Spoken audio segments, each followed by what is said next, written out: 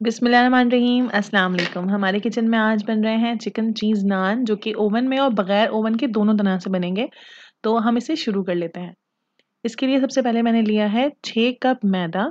मैदा जो है, क्योंकि मुझे ज़्यादा नान बनाने थे, इसमें सात से आठ नान बन जाएँगे। उसके बाद मैंने नीम गर्म पानी में दो टेबल स्पून जो है, वो ईस्ट डाला था और दो टेबल स्पून डाली थी चीनी। जब इस पर बबल्स आ गए थे तो मैंने उसे डाल दिया था इसके अंदर। इसके बाद मैं इसमें डालूँगी दही। दही है मेरे पास 250 ग्राम, जिसे आप एक पाव कह सकते हैं। नमक आप अपने टेस्ट के हिसाब से ले लें। मैंने वन टीस्पून डाला था और थोड़ा सा ज़्यादा, थोड़ा सा और डाला था। उसके बाद में मैंने इसमें डाला है हाफ़ टी स्पून जो है बेकिंग सोडा और उसके बाद में डालूँगी इसमें दो टेबल स्पून ऑयल। ऑयल डालने के बाद हम इसे अच्छी तरह से बना लेंगे।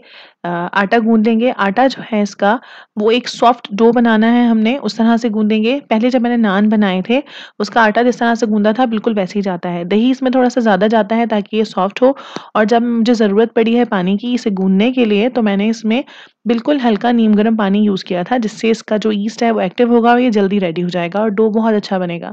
जब ये सारा एक जान हो गया है तो मैंने इसे सरफेस पे डाल दिया है अपने और उसके बाद मैं इसे अच्छी तरह से गूंथी जा रही हूँ। ये वैसे अमूमन चिपकता रहता है और ये चिपकना शुरू हो जाएगा जैसे ही ये मिलना शुरू होगा। इस पर आप हल्का हल्का सा ऑयल लगाएँ अपने हाथों पे और उसके बाद में इसे आप अच्छी तरह से गूंद लें। गूंदने के लिए इसे तकरीबन पाँच मिनट मैंने इसे गूंदा है ताकि ये बहुत अच्छा सा रेडी हो जाए और जो है ये अब तैयार हो गया है। इसके बाद मैंने इसे रख दिया है। ये बहुत जल्दी रेज़ हो जाता है, तकरीबन फोर्टी मिनट्स लगते हैं इसे।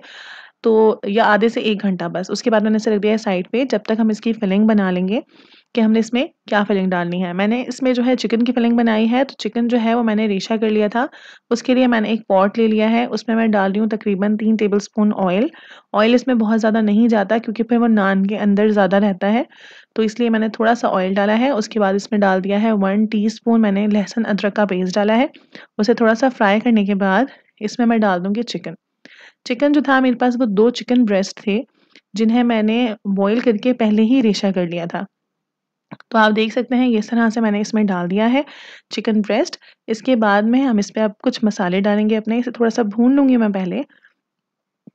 इसे थोड़ा सा फ्राई किया है। वैसे तो इसमें कोई स्मेल नहीं होती, लेकिन फिर भी इसे हल्का सा फ्राई कर लिया। उसके बाद लाल मिर्च का पाउडर डाला है एक टीस्पून भुना हुआ, कुटा हुआ ज़ीरा और धनिया डाला है वन टेबल स्पून और उसके साथ ही जो है नमक डाला है अपने टेस्ट के हिसाब से वन टीस्पून लिया था, गर्म मसाला हाफ़ टी स्पून लिया था, हल्दी ली थी वन थर्ड टी स्पून और साथ में लिया था मैंने जो धनिया पाउडर होता है, वो वन टेबल स्पून मसाला इसमें थोड़ा सा ज़्यादा जाता है, मिर्चें मैंने इसमें थोड़ी सी बाद में ऐड की थी, जो मैं आपको बता रही हूँ, क्योंकि इसमें चिकन जो है, वो बिल्कुल ही वो कम उसमें होता है, उसमें बहुत ज़्यादा मिर्चें नहीं होती, नमकीन सा होता है इसलिए, और जो है ये छः तेज़ वाली हरी मिर्चें हैं, वो डाल दी हैं चॉप करके, और ग्रीन अनियन है एक कप, वो डाल दी है इसमें चॉप करके मैंने बारीक, और उसके साथ में डाल दिया है हरा धनिया। हरा धनिया भी मैंने एक कप के करीब लिया है, वो भी बारीक चॉप करके डाल दिया है। ये सब चीज़ें मैंने इसमें मिक्स कर ली हैं फिलिंग हमारी रेडी हो चुकी है। इसके बाद मैंने चूल्हा बंद करके ये ग्रीन चीज़ें ऐड की हैं और जब ये थोड़ा सा ठंडा हो जाएगा, उस वक्त हम इसमें चीज़ ऐड करेंगे। चीज़ जो है वो कम्प्लीटली ऑप्शनल है, आप चाहें तो डाल लीजिए, नहीं तो कोई मसला नहीं है। चिकन वाले नान भी बहुत अच्छे बनते हैं। तो ये जो चीज़ है, ये मोजरेला चीज़ है, मैंने इसमें तकरीबन दो कप के करीब डाली है चीज़ आप जितनी चाहें कम या ज़्यादा डाल लें, आप चीज़ को नान बनाते हुए अलग से भी डाल सकते हैं। ऐसा नहीं है कि आप इसी में ऐड करें, लेकिन मैंने इसमें ऐड कर दिया था और ये इस टाइम पे हो गया है रेडी इसे मैं रख दूँगी साइड पे। अब हम आ जाते हैं अपने डो की तरफ़। डो हमारा बहुत अच्छा सा रेज़ हुआ है इस वक्त। और आप लोग देख सकते हैं ये बहुत अच्छा सा है। इस वक्त हम लेंगे एक पेड़ा। नॉर्मल पेड़ा लेना है, आपने जितना बड़ा या जितना छोटा बनाना है। सबसे पहले जो मैं नान बना रही हूँ, वो मैं तवे पे बनाने वाला नान बना रही हूँ और इसको मैंने आराम से बिल्कुल जैसे हम आटा होता है नॉर्मल, मैंने उसी के साथ इसे लगाया है। वो मैं हल्का हल्का यूज़ करती जाऊँगी ताकि ये चिपके नहीं। ये डो थोड़ा सा स्टिकी होता है, इसलिए आप आटा यूज़ कर सकते हैं। इसे अब हम फैलाएँगे, जैसे हम नॉर्मली अपने घर में बनाते हैं कोई आलू वाला पराठा वगैरह, वैसे हम इसे फैलाएँगे और उसके अंदर हम फिलिंग रख के इसको कम्प्लीटली बंद कर देंगे हर तरफ़ से। आप लोग देख सकते हैं मैं इसे हर तरफ़ से बंद कर रही हूँ प्रॉपरली ये हल्का हल्का जो है, हर तरफ़ से कंप्लीट बंद हो जाएगा, कहीं से खुला नहीं रहेगा।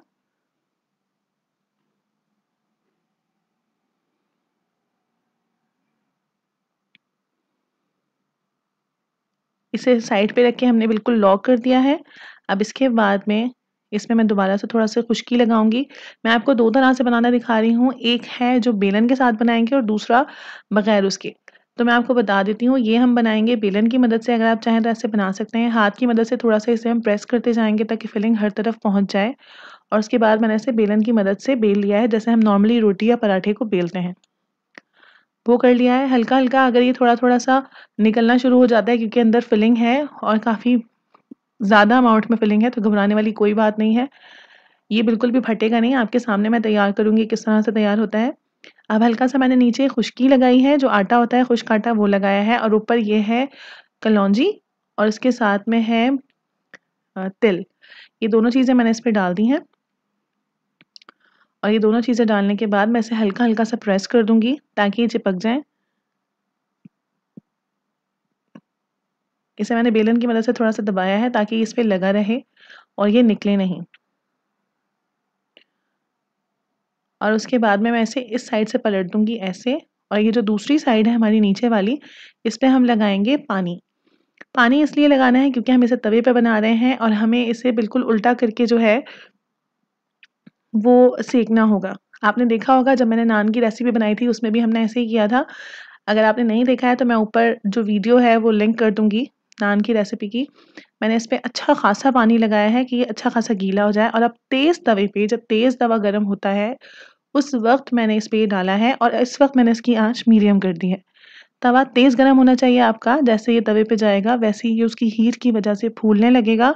नान की एक बहुत अच्छी सी शक्ल आ जाएगी, देखते ही देखते बहुत खूबसूरत हो जाता है ये। और जैसे ही आपको लगे इस पर अच्छे से बबल्स आ गए हैं, आप तेज़ आँच करके, तेज़ आग पे इसे इस तरह से सेक लेंगे, उल्टा करके। अगर पानी ज़्यादा लगा होगा तो ये अच्छी तरह चिपकेगा।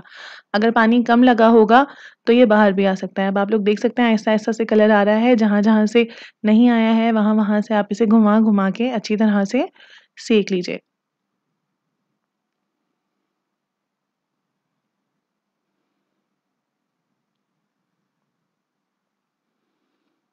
नान हमारा हो गया है रेडी आप लोग देख सकते हैं, नीचे से बड़ा अच्छा सा रेडी हुआ है ये। इसे निकालने के लिए एक सिंपल सी तरकीब है, जो आपका नॉर्मली स्पैचुला होता है। उसे आप इस तरह से करेंगे तो आप लोग देख सकते हैं, बहुत ही आसानी के साथ ये बाहर आ जाता है और देखिए पीछे से भी कितना अच्छा तैयार हुआ है। एकदम परफेक्ट इसे मैंने निकाल लिया है बाहर। अब इस पर मैं जो है ब्रश की मदद से लगा दूँगी मक्खन गरम गरम नान पे। इससे ये सॉफ्ट रहेगा और बहुत अच्छी सी शाइन आएगी इस पर तो हमारा हुआ ये चिकन वाला नान रेडी जो कि तवे पे बनाया है बहुत सिंपली आप इसे घर में बना सकते हैं। अगर आपके पास अवन नहीं है तो आप इसे सिंपली ऐसे बना सकते हैं। और आप देख सकते हैं, ये बहुत अच्छा सा रेडी हो गया है, बहुत अच्छा कलर आया है। और अब मैं आपको इसे तोड़ के भी दिखाऊँगी कि किस तरह से रेडी हुआ है। बहुत अच्छा बहुत सॉफ्ट बहुत मज़ेदार। आपको यकीन नहीं आएगा कि घर में इतना अच्छा नान तैयार हुआ है। और कंप्लीट इसकी फिलिंग भी फैली हुई है हर जगह पे चीज़ के साथ। अब हम जाते हैं अपने अगले नान की तरफ़। उसके लिए सेम वे में हम यही करेंगे, जिस तरह से हम पेड़ा लेते हैं और उसके ऊपर दोबारा से हम फिलिंग रखेंगे।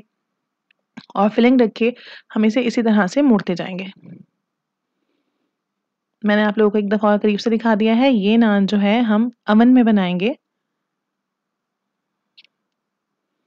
ये हो गया है कंप्लीट बन। इस पर हम खुश्की लगाएँगे और इसे हम हाथ की मदद से इस तरह से करते जाएँगे ताकि हर तरफ़ चिकन फैलता जाए।